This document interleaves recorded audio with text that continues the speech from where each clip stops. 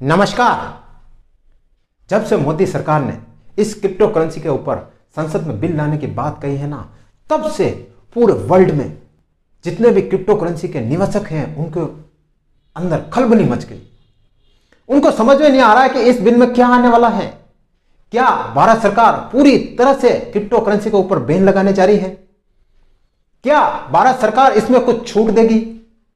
उनको ये बिल्कुल समझ में नहीं आ रहा कि वो करे तो करे क्या? और जिन्होंने निवेश कर रखा है, उनका क्या होगा? यही सोचकर रातों रात जो बड़ी बड़ी क्रिप्टो करेंसियाँ हैं, लाइक बिटकॉइन हो गई, इथेरियम हो गई डोकॉइन हो गई, उनमें 10 से 15 परसेंट की गिरावट आ गई रातों रात। और मज़े की बात तो यह है कि गवर्नमेंट ने भी कुछ बताया नहीं है विशेष इस बिल में। कुछ ऐसी विशेष जानकारी नहीं दी है। अब आप देखोगे, अगर इसमें कुछ विशेष जानकारी नहीं दी है, कि तो सब में मन में एक सीक्रेट, एक जिज्ञासा हो गई है कि आखिर इस बिल में ऐसा क्या होगा? जो निवेशक है, उनके पैसों का क्या होगा?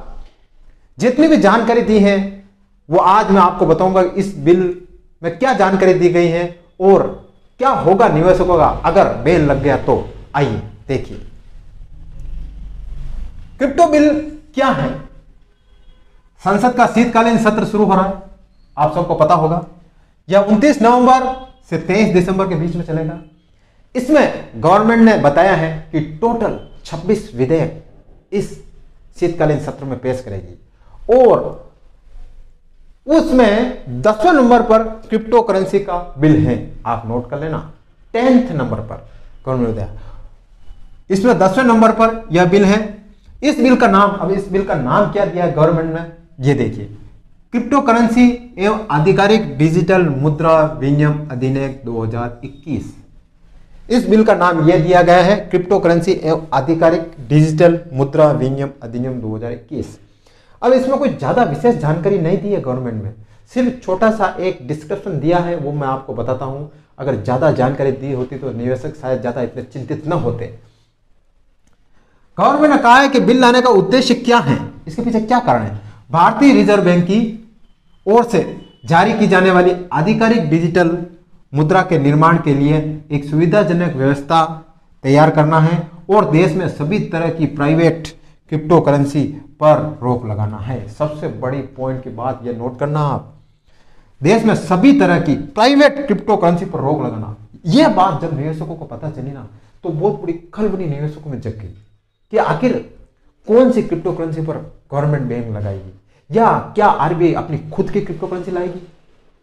और खुद जब इनकी मीटिंग हुई थी, पंद्रह से बीस दिन पहले खुद जो अपने देश के सांसद है, उन्होंने भी एक राय दी थी कि जो ये प्राइवेट करेंसी हैं और जो डिजिटल जितनी भी करेंसी है, ये रुपए से मज़बूत नहीं होनी चाहिए। अपना रुपए हमेशा स्ट्रॉन्ग रहना चाहिए। जो भारतीय करेंसी है रुपी वो हमेशा स्ट्रॉन्ग रहना चाहिए। तो अब निवेशक ये सोच रहे कि यार सरकार क्या करेगी? प्राइवेट करेंसी है, जितनी भी डिजिटल उसके ऊपर रोक लगेगी तो हमारा पैसे का क्या होगा? ये सोच के जितने भी जो निवेशक हैं, वो अपने धड़ाधड़ धड़ाधड़ अपने पैसा बिटकॉइन या और जितने भी करेंसी है, उनसे निकाल रहे हैं। और जब निकालेंगे तो ऑब्वियसली रेट नीचे आएगी तो यही अभी मार्केट में हो रहा है।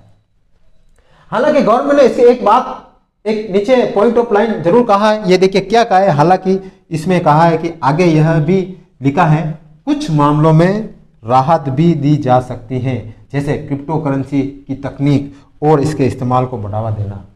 अब गवर्नमेंट ने ये तो कह दिया, चलो कुछ मामलों में राहत दी जा सकती है। कुछ मामलों में, लेकिन अब ये नहीं बताया कि किन मामलों में राहत दी जा सकती है।